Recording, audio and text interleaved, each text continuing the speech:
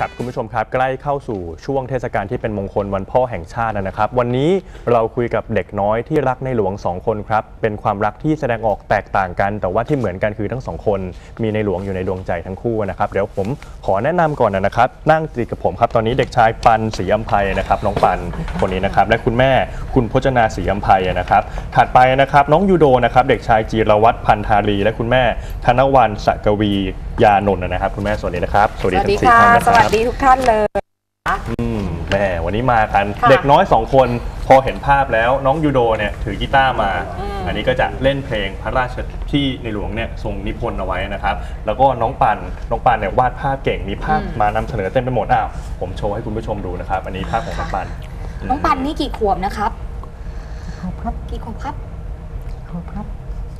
ยังตื่นเต้นอยู่ตื่นเต้นตื่นเต้นกี่ขวบครับแล้ว ครับลูกหกหกขวบหหกกขขววบบวาดได้ขนาดนี้นะคะ เออน้องยูโดนะครับ อายุเท่าไหร่ แปดสิบครับมีการงงอายุกันเล็กน้อยอ่าหกขวบกับสิบขวบ อืมเอาเริ่มจากน้องปานก่อนอืม ผมคุยเมื่อกี้คุยนอกรอบวาดภาพเยอะมากนะคุณผู้ชมนี่ ผมให้ดูโอ้โหโอ้เยอะหยิบมากหยิบยังหยิบไม่ไหวค่ะ นะคือภาพในนี้เนี่ยเป็นภาพขององค์พระบาทสมเด็จพระเจ้าอยู่หัวทั้งหมดเลยนะครับน้องปานเริ่มวาดตอนอายุเท่าไหร่ครับ สิบขวบได้ค่ะ 10 ขวบสี่นะขวบค่ะ สี่ขวบค่ะเมื่อสองปีที่แล้วสองปีค่ะที่แล้วอืค่ะมค่ะ ครับผม แล้วครั้งแรกทำไมถึงวาดรูปในหลวงคะตอนนั้น เพราะอะไรลูกน้องปันทำไมถึงวาดวาดรูปในหลวง เพราะว่า ครูให้วาดหรือว่าเราวาดเอง คุณแม่พอจำได้ไหมคะตอนนั้นทำไม ก็ ขอที่วาดก็ตอนแรกอ๋อๆคุณครูเริ่มสอนให้วาดรูปนะคะ ค่ะแต่พอวาดปุ๊บเนี่ยที่โรงเรียนเขาก็จะวาดแต่รูปในหลวงค่ะ เขาจะมีชั่วโมงสำหรับให้วาดแบบ กึ่งบังคับของทางโรงเรียนนะคะค่ะ ว่าเป็นหัวข้ออะไรอะไรอย่างเงี้ยค่ะแล้วก็จะมีอีกชั่วโมงหนึ่งคือวาดอิสระอะไรก็ได้ ค่ะ ปันเขาก็จะเลือกวาดรูปในหลวงในชั่วโมงอิสระค่ะ ค่ะก็จะวาดอย่างเงี้ยทุกทุกครั้ง แต่รูปก็จะเปลี่ยนไปนะคะค่ะค่ะ ก็แล้วแต่ว่าจินตนาการตอนนั้นจะเป็นรูปท่านช่วงไหน ค่ะค่ะ ทำไมปันถึงชอบวาดรูปในหลวงครับ เพราะอะไรทำไมถึงชอบวาดรูปในหลวงเพราะอะไรครับ เพราะว่ากันรักในหลวง โอ้เหตุผลเดียวเลย ครับ แล้วการวาดรูปในหลวงของน้องปันเนี่ยคือวาดแบบมีรายละเอียดอืม แล้วก็ศึกษาด้วยนะครับค่ะคุณผู้ชม อันนี้เป็นหนึ่งในภาพที่ผมยกตัวอย่างมาแล้วกันนี่ปันปันจำภาพนี้ได้ไหมครับ ภาพนี้ในอันหลนี้วงใครวาดครับปันใครวาดลูกวันวาดครับปันวาดนะครับปันวาดตอนไหนครับภาพนี้ครับ นานยังครับ วาดแทบทุกวันเลยค่ะวาดทุกวันภาพภาพนี้ลืมไปแล้วค่ะค่ะภาพเนี้ยเขาก็จะถามแม่ว่าในหลวงทรงชุดอะไรค่ะนะคะอืมเสร็จแล้วเราพอเราบอกเขาเขาก็จะจำไว้ว่าจริงๆ แล้วท่านทรงชุดอะไรค่ะอันี้จะเป็นชุดทองอะค่ะอืมช่วงปัดแรกเนี่ยเขาจะเรียกว่าเป็นชุดมงกุฎค่ะแต่พอตอนหลังเนี่ยเขาก็ทราบข้อมูลจากคุณพ่อมาแล้วอันนี้เรียกชุดอะไรนะครับลูกฉลองผู้คุยมหาจักรีบรมราชวงศ์ โอ้โห ธรรมดาไหมล่ะ ถูกต้องธรรมดาไหมเลยล่ะเดี๋ยวจะหาว่าเตรียมมานี่ผมสุ่มมานะค่ะอ่าต้องอ่ารูปนี้จำให้หมดนะปันครับ รูปนี้ฉลองพระองค์แบบไหนวาระไหนครับปันในหลวงทรงชุดอะไรครับลูก เป็นรูปที่แบบอยู่ใกล้ๆใบหน้านานน่ะวันวาดเองครับ ครับอืมพันวาดเองแล้วอันนี้ทรงชุดอะไรครับลูก สีแดงเนี่ยทรงชุดอะไร ทรงชุดทหารบกอะ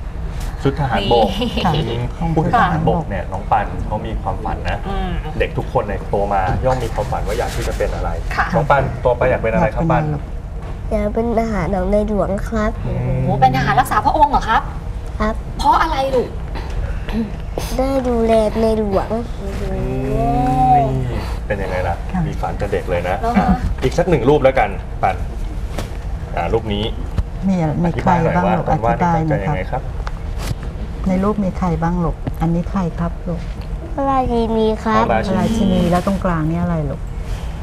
พระที่นอนมันครับพระแล้วที่ข้างนั่งบนนั้นพระราชวงศ์จักรีครับตาราชวงศ์จักรีนี่น้องปันมีอะไรบ้างลูกรู้ไหมปีศูนย์มีตรีกับมีศมีตรีศูนย์ใช่ไหมครับ แล้วก็มีจักรใช่ไหมครับครับอืม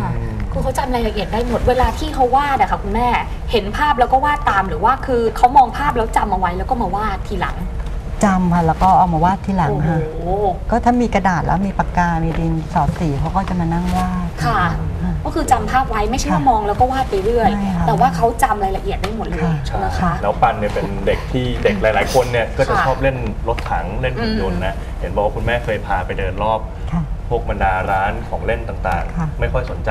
แต่ว่าถ้าเกิดหยิบหนังสือเล่มนี้ให้เนี่ยอยู่กับหนังสือเล่มนี้ได้ทั้งวันเลย ได้ค่ะเพราะว่าจะศึกษาเรื่องของพระราชกรณียกิจอย่างมากค่ะ น้องปัน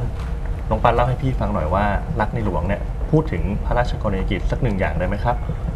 เรื่องอะไรเรื่องอะไรครับ ในหลวงทรงงานเพื่อใครเนาะมวลชนชาวไทยครับ อื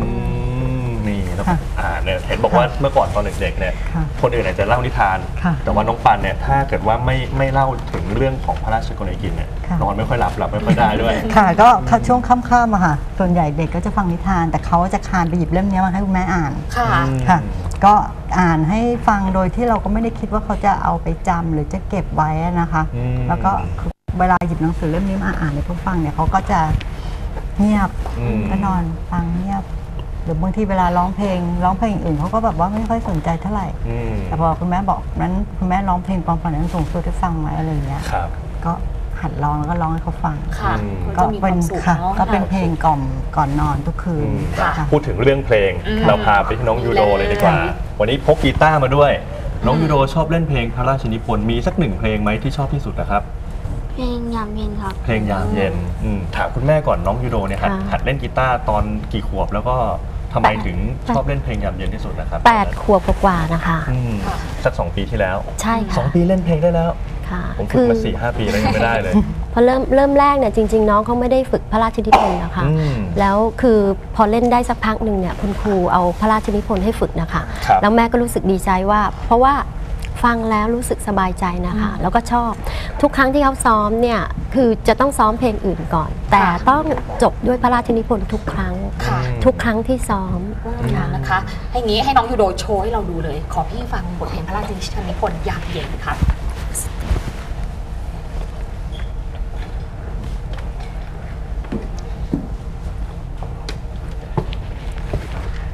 พูด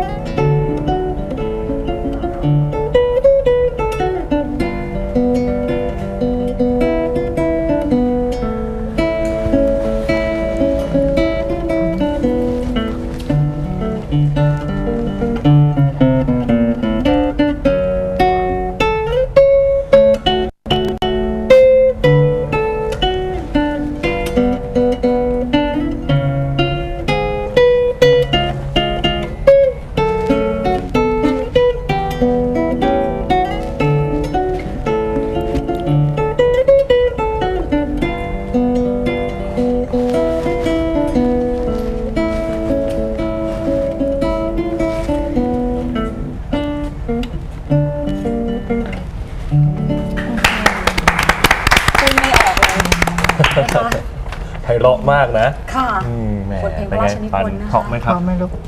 ครับพร้อมนี่ค่ะรู้ปันนะชอบเลยอยากหัดเล่นกีตาร์แล้วล่ะสิอยากนะครับจากเป็นว่าจากวาดรูปไหม เอาไหม ไม่อะอ๋อ